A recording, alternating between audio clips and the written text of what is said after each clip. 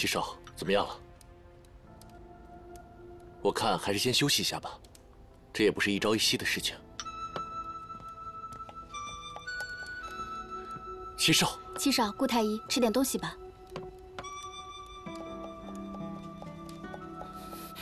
七少。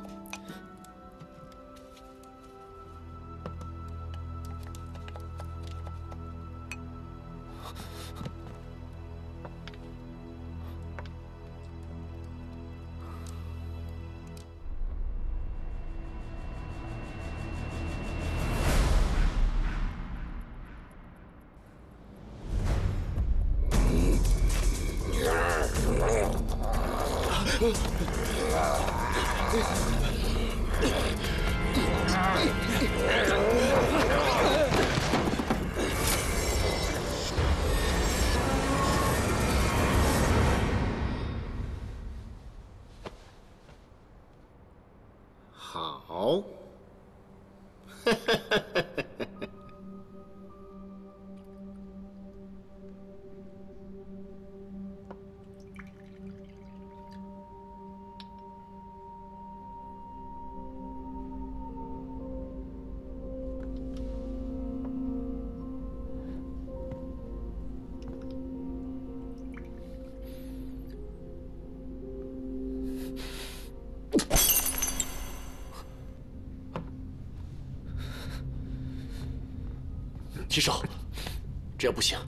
扶你先休息一下。走，七少。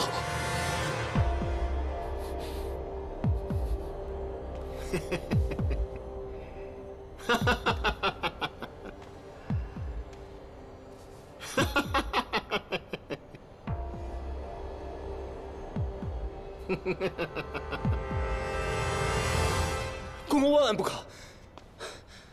我们是依靠银针对头部穴位的刺激，来操控他们的行动。这二位变化最大。哼，不错。看来我们还得多找一些内力深厚之人。可是我们的药引已经不够了，为何不继续调剂？入药的药材十分稀少，一时半刻也找不着。小人们实在没有办法无中生有，请公公恕罪。真是可惜了。公公也无需忧虑，只要康健之人身上的伤口感染上第一代独孤人的血液，就会变成第二代独孤人。一旦变换完成，就会与第一代独孤人血脉相通，跟随第一代独孤人行动。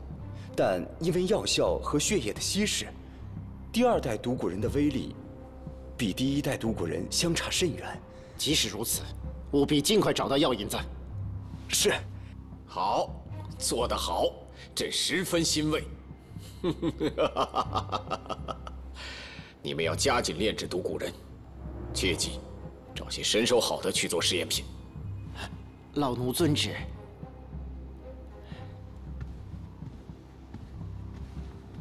启禀陛下，研制毒蛊之毒的药草世间罕有，一时很难采集到这么多。老奴已经命人尽快采集了。哦。那现在第一代研制的够多少人？回禀陛下，已经炼制好的有八个，估计还可供十余人的量。那这八个独孤人是我们的宝贝，不可一次性派出去。最不济，可以用第一代独孤人研制第二代独孤人。老奴遵旨。把毒瘟疫全部扩散出去。这，老奴愚钝。不知陛下，朕的军队自然是越强大越好。没有朕，百姓怎么能够安居乐业？终有一天，那些牺牲的百姓和他们的后代会明白，现在的牺牲是值得的，未来的牺牲也是值得的。李全，老奴在。朕要独孤人大军越多越好。老奴遵旨。既然第一代独孤人这么珍贵，就可以用第一代独孤人的血去研制更多的第二代独孤人，那自然要物尽其用。陛下英明。李全，派两个独孤人去京城杀了韩云溪。只要韩云溪一死，毒宗一脉就会绝后。这解毒蛊的方法，估计也会失传。到时候，龙飞也不止失去挚爱，还可以让他身上的毒蛊爆发而死。恭喜陛下！有了这支毒蛊大军，陛下千秋万载统一天下的日子将指日可待。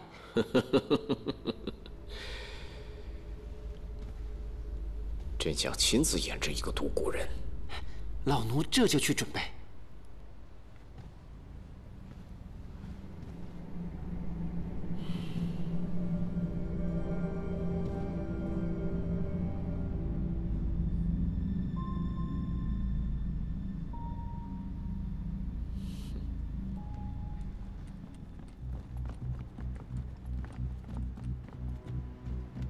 参见陛下。快去！是。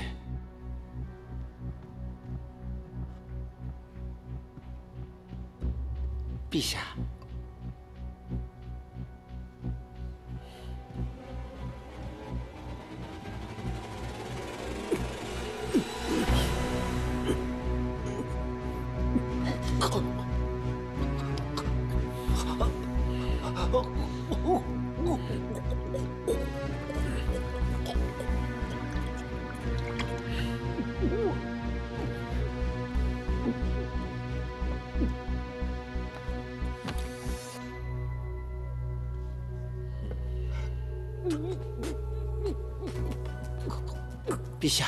请赶紧洗手。陛下放心，这毒鬼药剂外敷没有任何毒素。只是今日，陛下万不可再碰其他毒物，否则沾上毒物的地方会变灰。嗯。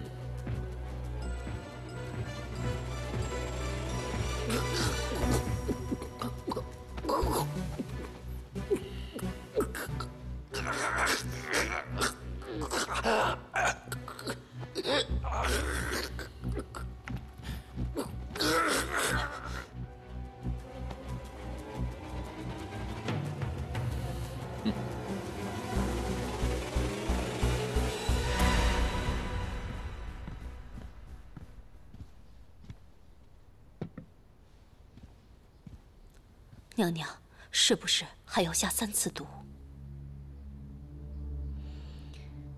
还有三次，陛下体内的慢性毒就会毒发，到时候就会一病不起。嬷嬷，为什么我们的计划就要成功了？可是我却一点也不开心，娘娘。前几次已经下毒了，现在是箭在弦上，不得不发。娘娘，你就别想那么多了。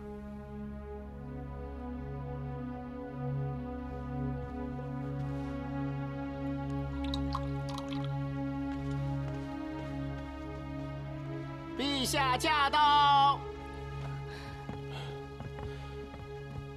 臣妾参见陛下。快快免礼。陛下。今日怎么这么早就过来了？不知怎么了，最近朕经常会感觉疲惫，所以来青儿你这儿偷一会儿闲。莲子羹，青儿快端给朕，朕正好口渴。陛下，那碗莲子羹是刚刚熬好的，可能有些烫，要不我们等凉了再喝。哎，无妨，快端给朕吧。是。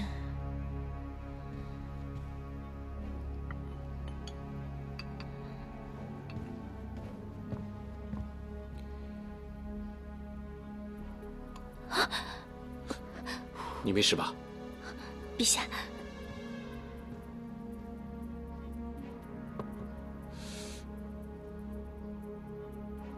陛下放心，这毒鬼药剂外敷并没有任何毒素，只是今日陛下万不可再触碰其他毒物，否则沾上毒物的地方会变灰。难道莲子羹里面加了药物？啊！陛下，陛下怎么了？没事。朕突然想起来，还有重要的公务要处理，所以今晚就不能待在青儿这儿了。李全，老奴在。把莲子羹端回去，等凉了以后再给朕喝，千万别洒了，这可是清妃的一片心意啊。是。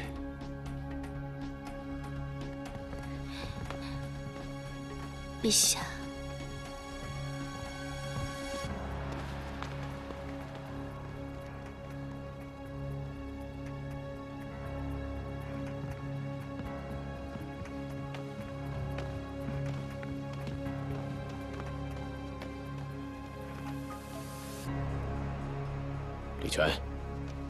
老奴在。把莲子羹拿到太医院检查，切记要隐秘行事。老奴明白，老奴这就去办。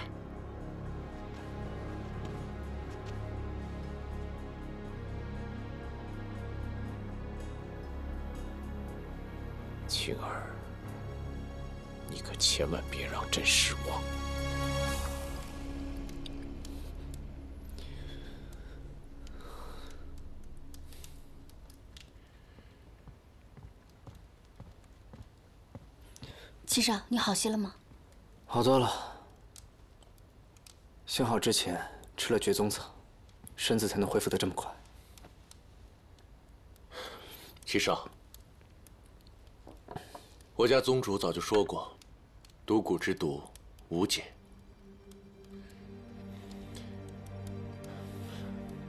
你已经尽力了。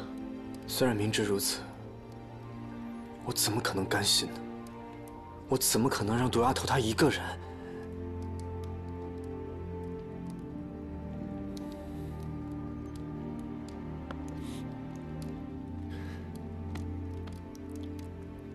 我理解你的心情，但是啊，与其这样没有结果的等下去，我更希望能陪在小姐和殿下的身边。只要他们有任何用得着我的地方，我会倾力相助。你说的对，我可能执念太深，我没有你看得明白，我没有把握好轻重。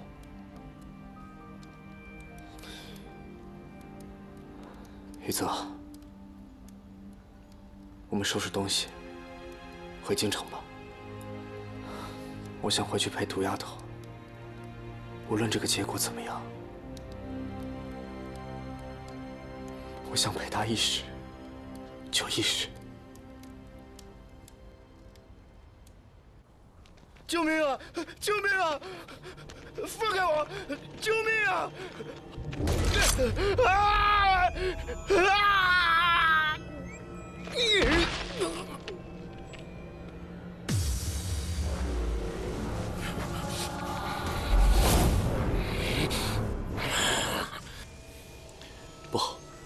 天辉帝不仅研制出了毒蛊之毒，还找到了让毒蛊之毒迅速传播的方法。天辉帝这个暴君，果然残忍至极。竟然如此，草菅人命。这样，七少，你有伤在身，先走，我来引开他们。好。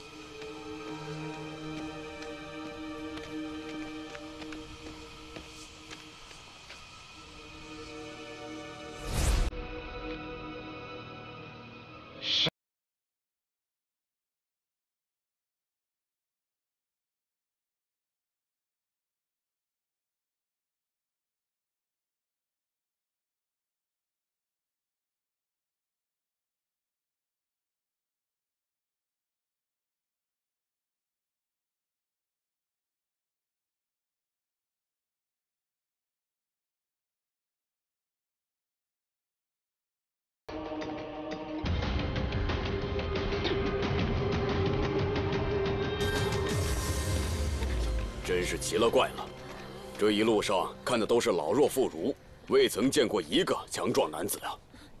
恐怕早就被天辉帝抓去炼制毒蛊人了。幸亏秦王殿下入住天宁啊，否则这些无辜的百姓，早晚被那暴君荼毒蹂躏。待末将杀入西京，定将那暴君大卸八块。小殿下，顾太医，原来你也在这儿啊！太好了，天辉帝已经研制出了毒蛊人。我刚才看见一群秦王的将士进城了，他们应该会救下顾太医的。七少不用过于担心。既然援军来了，这边境地区应该是无大碍了。雨泽，你就带着绝宗草进城，交给他们，帮他们解毒瘟疫。那七少你呢？我得回去找毒丫头，我担心她一个人留在京城，说不定会出什么事情，我必须赶紧回去。那好吧。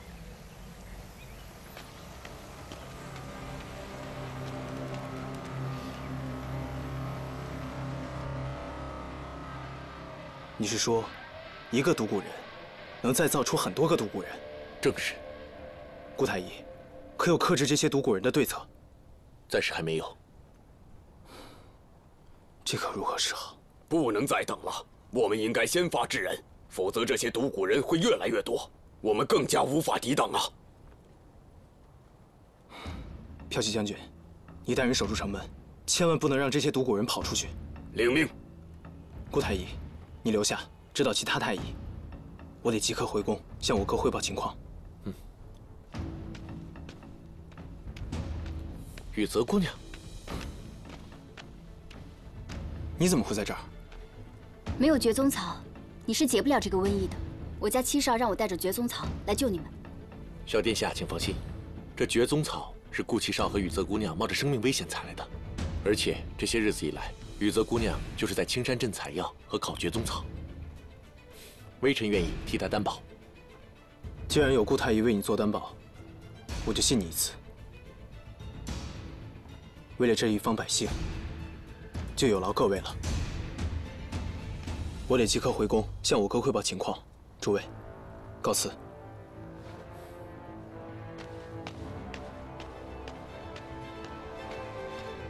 数日不见。小殿下仿佛变了，啊！是秦王殿下教导有方啊！哈哈哈哈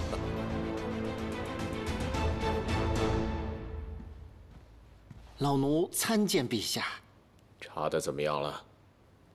嗯，回禀陛下，毒医说，这莲子羹里……不用吞吞吐吐的，说吧。这莲子羹里放有一种慢性毒药，量很微弱，但长期服用的话，就会毙命。他为什么要这样做？王振这么信任他？陛下，清妃娘娘不仅给陛下下毒，还暗中与朝廷权臣交往甚密，有结党营私之嫌。陛下。老奴是否现在就把清妃娘娘抓起来？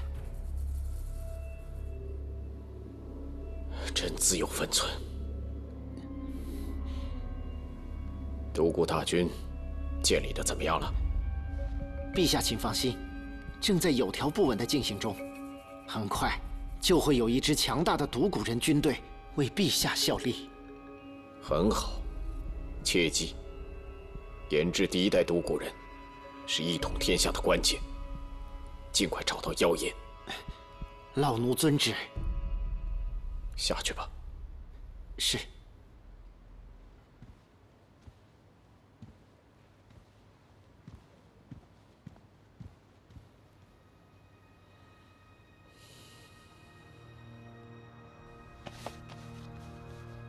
娘娘，你突然要看西丘地图做什么？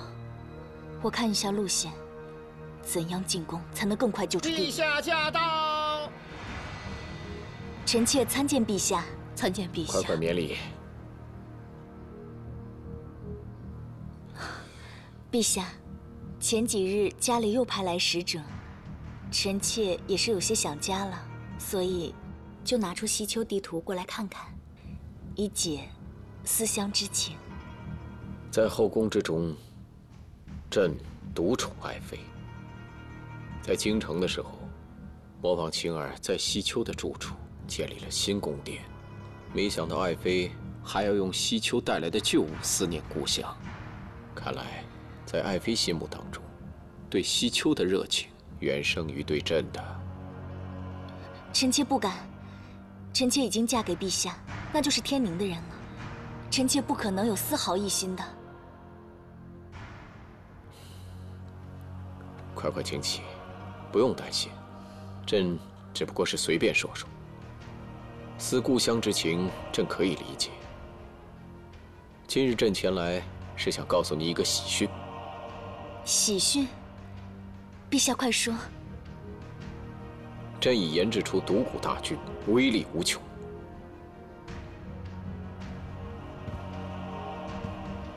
朕要把失去的江山夺回来，再攻打北利，到时候，西丘可以依附于天宁，成为天宁的附属国。爱妃与朕一起治理天下，你觉得如何？那，那臣妾就替西丘百姓多谢陛下。所以啊，不要担心西丘，一切有朕，知道吗？臣妾明白。你好好准备一下，过几日跟朕一同出征。是。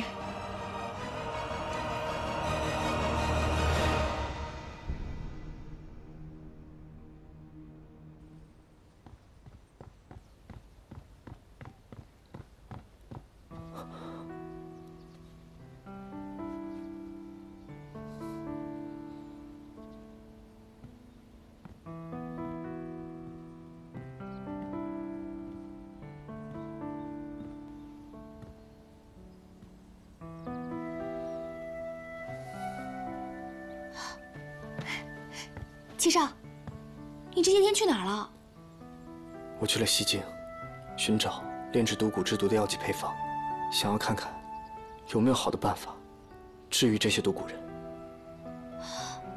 那你知道解毒蛊的唯一方法了？知道了。那你找到解决方法了吗？没有找到，对不起。但是毒丫头。我求你了，你不要死好不好？你不要死，你不要死好不好？你不要这样牺牲自己，你不要做傻事好不好？我一定要救殿下。我知道你要救他，但你想想，我们可以想想其他办法呀。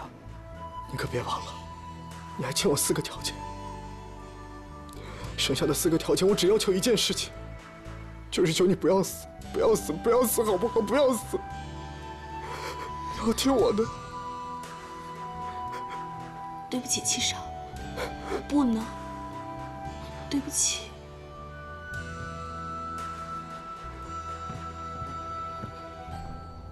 杜丫头。如果你真的要牺牲自己去救龙飞叶的话，那我现在就去杀了他。你别胡闹了，你杀了他，我也不会独活的。如果你死了，他带着对你的愧疚活一辈子，这样的活跟死有什么区别？你好好想想，你愿意吗？你不难受吗？求你了，我真的求你了，你不要死！我带着你走，我们离开这里，离开这个地方，离开是是非非，离开龙飞夜，好吗？不要胡闹了！我走！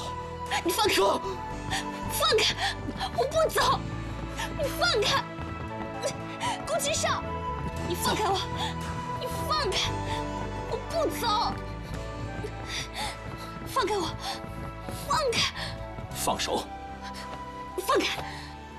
殿下，顾七少，你是不是找死？龙飞燕，你知道这一切都是为了谁吗？你知道毒丫头她……你要是敢说出来，我现在立刻取出心头血。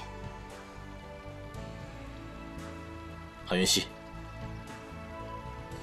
你当我不存在是不是？我们俩说悄悄话，就当你不存在。怎么，你要动手是吧？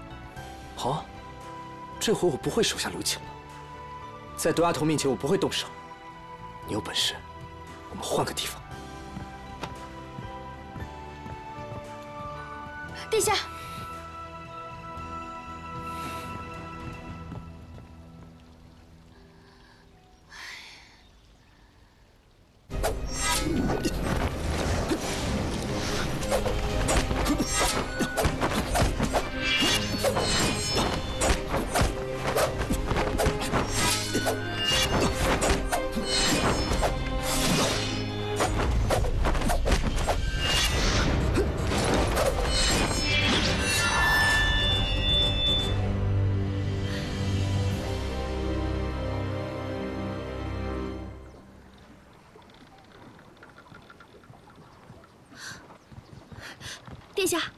你没把顾七少怎么样吧？你很在意他？我说过他是我的救命恩人。他是北丽皇子，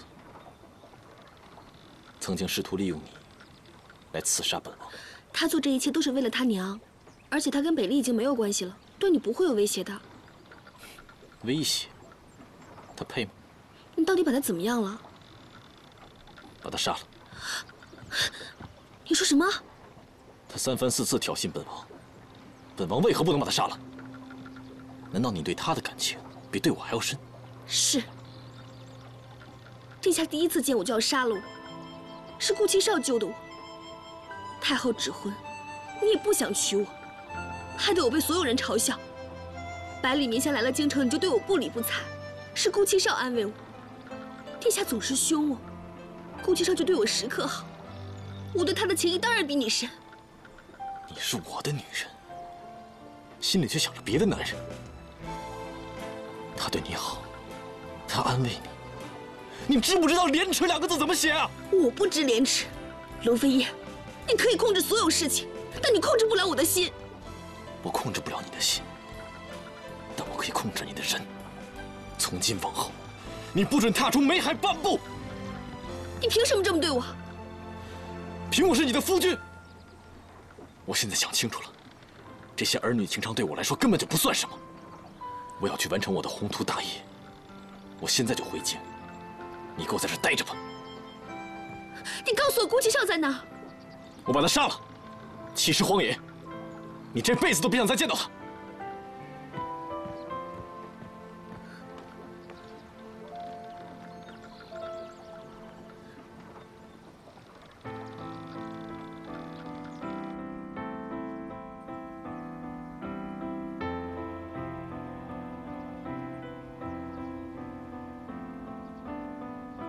想的招数一个都没有用上，殿下你就死心了。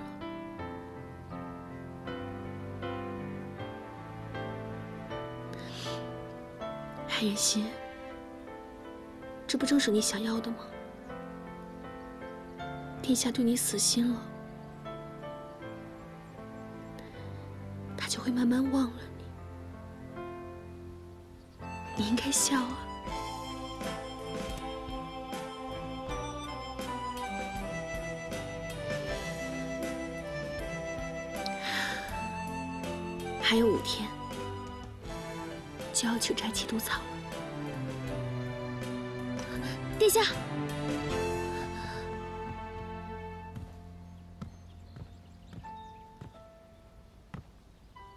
妃娘娘，殿下并没有杀顾七少，他只不过受了一些小伤，况且现在还有茱萸姑娘在照顾着，娘娘不必多虑。我知道。殿下不是那种人，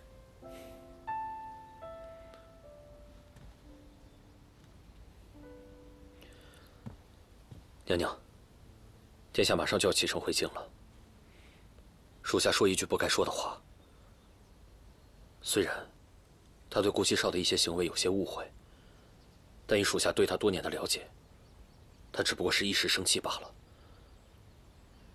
如果可以的话，你能不能主动去找一下殿下，跟他求个情，道个歉？说不定殿下就释怀了。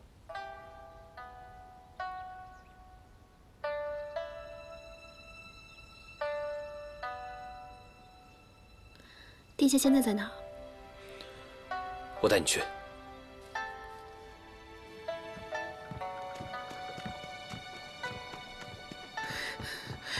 殿下。你还来干什么？你是不是对我有什么误会？如果我真的做错了，我可以道歉。误会？我亲眼所见，能有什么误会？殿下，我说最后一遍，我跟七少只是朋友。你对朋友的定义还真够广泛的。看来在家中，从来没学习过要守妇道。你这话什么意思？本来我想给你留下颜面，既然你问了，那我就告诉你：不知廉耻，不守妇道，水性杨花。罗飞燕，你把我当什么了？韩云溪，我告诉你，日后我要是问鼎九五之尊，你出身那么低贱，凭什么站在我身边？你不是挂念那个顾七少吗？这样也好，以后请你滚出我的视线，就当我们从来不曾相识。说话算数，梅海送给你了，从今往后我不会再踏入梅海半步。我不稀罕。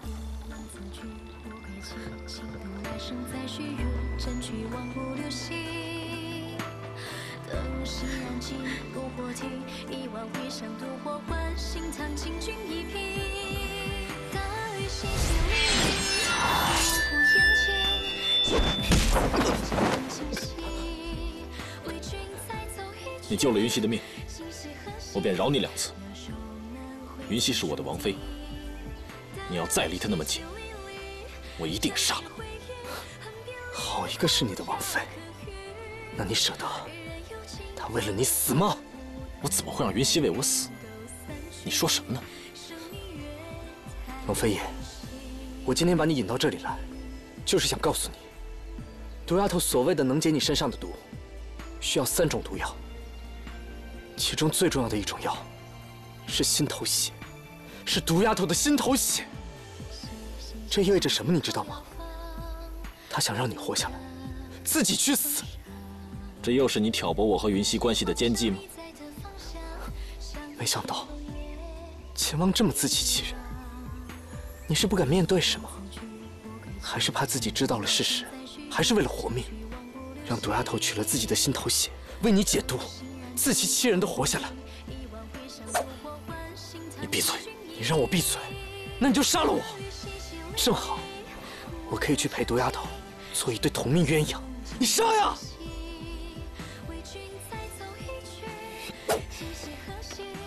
我警告你，你让毒丫头死了这份心，要不然她会为你死的，她会为你死的。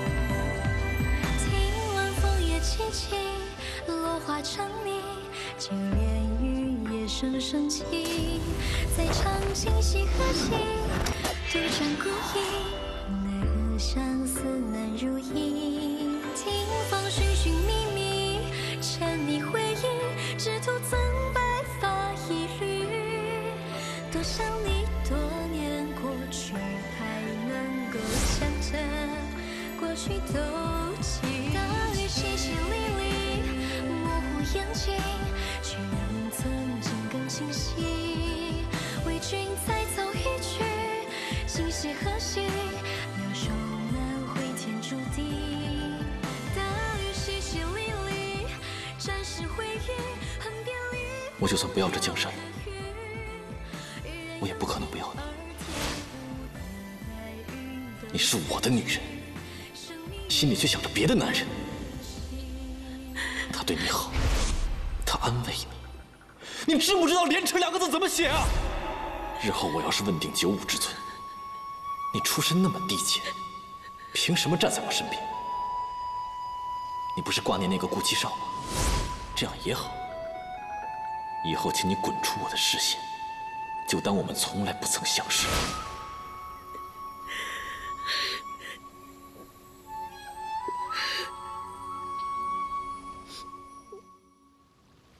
你把这封书信送去南疆。这封书信送去百里将军那里。百里是。天辉帝那边已成功研制了独孤人，我们必须马上集结军队攻打西京。如果这么拖下去的话，他会制造出更多独孤人，局面会难以控制。哥，你放心，军饷粮草都已准备就绪，只要你一声令下，马上就可以出发。殿下，二公子，王妃娘娘现在住在顾太医家。知道了。喂，他们俩怎么了？还不快去！哦，我现在就去。南疆百里将军，南疆百里将军。启禀陛下，青山镇以及西京边境的毒瘟疫已被龙飞叶压制了。又是龙飞叶，那药引呢？找到了吗？回禀陛下，老奴派出去的人都没有回音。独孤人成军，刻不容缓，必须要快。如果找不到药引研制第一代独孤人，就大量研制第二代独孤人。一代独孤人身上血液有限，用普通百姓炼制的二代独孤人威力稍弱。如今毒瘟疫又受到控制，大量炼制二代独孤人的事，还请陛下三思。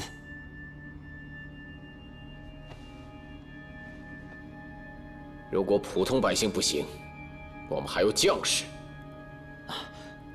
陛下的意思是，士兵的作用本来就是用来打仗的。陛下，如今穆家父子掌握着西京的兵马大权，万一穆家父子不同意，可就不好办了。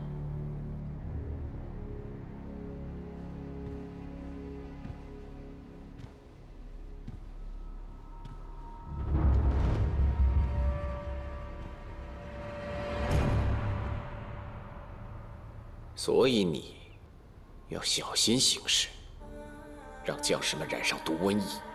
记住，分量要比以前更重。善后的事情交给朕来处理。去吧。老奴遵旨。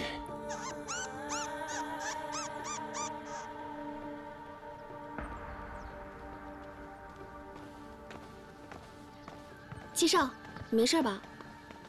我能有什么呀？对丫头，你不会以为我被龙飞叶给杀了吧？你可别忘了，我是谁？我能怕他吗？别提他了。你们真的决裂了？他都这样对你了，你就不用帮他了吧？帮？你们都没有关系了，你为什么还要帮他？我跟他毕竟夫妻一场。我不能眼睁睁看着他去死。他现在这样，终归是我爹的错。我一定会尽我最大的努力。好，那我也帮你。哎呀，不用，我不想再欠你什么。杜丫头，你跟我客气什么呀？杜丫头，你听我的，这事儿结束以后，你跟我去天涯海角，不离不弃，可好？这话，他曾经也承诺过。可如今不也一拍两散？我不要跟任何人走，我一个人可以过得很好。你不要拿他的错来惩罚我，我跟他是不一样的。自古以来，男子都是薄情的，不是吗？你说的男人都是龌龊的男人，我可是百年一遇的痴情暖男。你放心，我绝对不会负你的。当真？千真万确。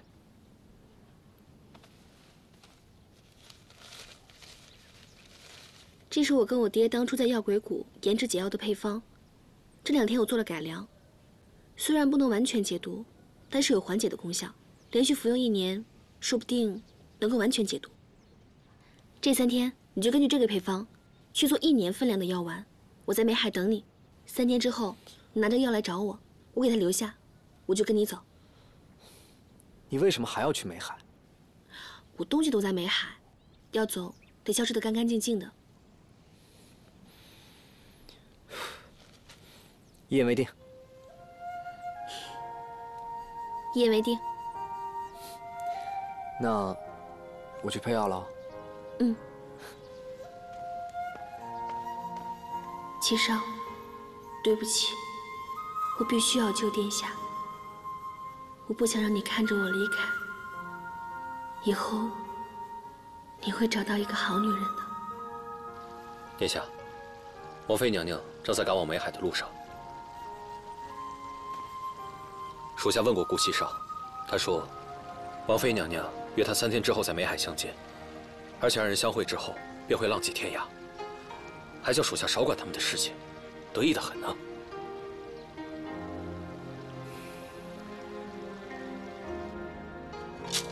这些都是工部、户部、兵部呈上来的各个工程汇总、账簿副本、防务军政，还有京城官员的户籍档案。你虽然不用倒背如流，但也务必了然于胸，这样那些官员才不敢擅权隐瞒、阳奉阴违。这么多，那我得看到什么时候啊？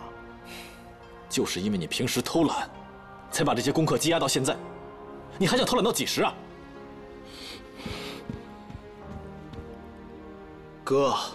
我的未来应该由我自己决定，登基称帝、治理国家，那都是你的事儿。现在文武百官都在问我，你为何迟迟不肯登基？我都不知道该怎么回答他们。我身中蛊毒，寿命不到数月，等不到收复秦西的那一天了。